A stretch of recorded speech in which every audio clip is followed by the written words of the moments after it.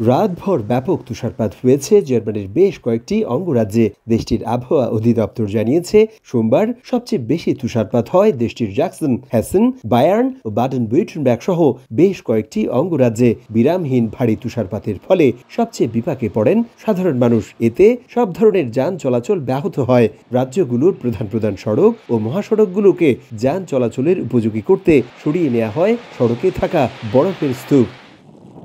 আবহাওয়া অধিদপ্তর আরও জানায়, উত্তর মেরু থেকে আসা ঠান্ডা বাতাস আর বৃষ্টির কারণে নভেম্বরের শেষ ও ডিসেম্বরের শুরু থেকেই জার্মানি জুড়েই আবহাওয়া থাকবে অন্যান্য সময়ের চেয়ে ঠান্ডা। এ সময় তুষারপাতের পাশাপাশি বৃষ্টি ও জমাট বাঁধা বরফে রাস্তাঘাট পিচ্ছিল থাকবে বলেও জানায় জার্মানির আবহাওয়া অধিদপ্তর ডিডব্লিউডি। অটোমেটিক বিকাশ করতে সেট করুন অটোপে বিকাশ থাকলে আর কি লাগে?